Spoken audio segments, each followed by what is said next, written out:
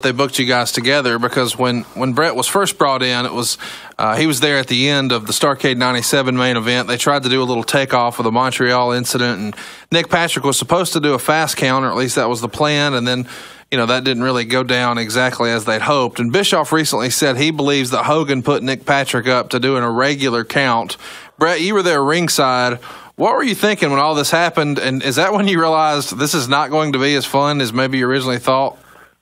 Well, you know what? I'll be honest. I thought it was a pretty lousy finish in the first place. The whole thing was stupid and made little sense. Who, who was, it seemed like a really Hogan and Sting. dumb idea Hogan and Sting? to oh, bring oh, me in as a referee out of nowhere. The whole thing was nonsensical. Didn't make any sense. But it was like, okay, well, Bischoff's supposed to be the genius, and they're doing so great. You know, I got I got to just sort of listen to what they're telling me to do and do it the best I can.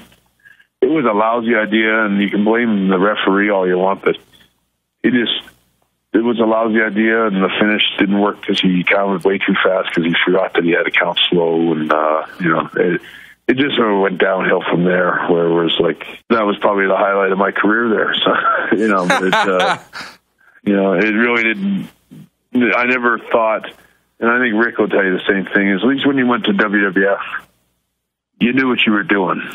You know, you, you really got a clear picture of what you're doing for the next while, and uh, you know how to how to put your input in and how to to make things better. They give you enough of idea what you do in the next couple of weeks to sort of and who you were working with and what you needed to try to do as far as your storyline went. You know, with WCW, I don't think they knew shit. They never knew zero. And they couldn't lace Vince McMahon's shoes up. They they were so bad they didn't know anything about anything. There was a bunch of little morons telling people what to do. Guys like Kevin Sullivan were giving finishes to guys like me, and I just scratch my head and go, "What am I taking orders from Kevin Sullivan for?" Like, like who the hell is Kevin Sullivan to be giving?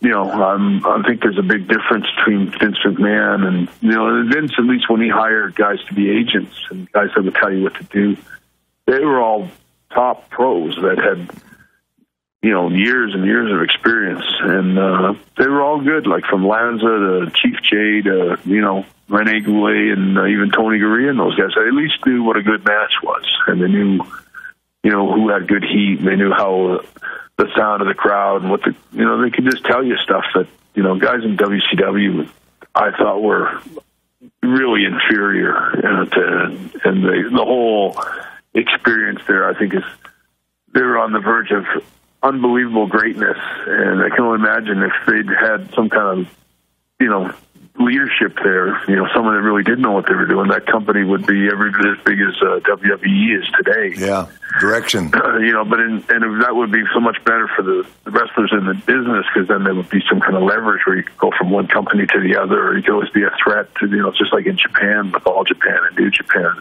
But all that benefits the wrestlers, and uh, you know, Eric Bischoff and all those uh, morons underneath him, they they dropped the ball and uh, killed something that was going to be great for everybody. It should have been great for everybody. And it's too bad because there's guys in the industry like Rick and myself that, and uh, a lot of guys we've talked about in the last, uh, you know, last little while that made this business mean something back then and made people start getting interested in it and, uh, and start to follow. And it wasn't about the bodies it was about the work in the ring and uh, the matches themselves. And if you look at, uh, you know, from the time that me and Rick were, I would say, in our prime in the '90s, um, they were going away from the bodies and the build, uh, you know, the the Hogans and the Billy Graham superstars. It was about the it was about the work rate and the workers of the business, and uh, that's why they remember me and Rick today better than they remember.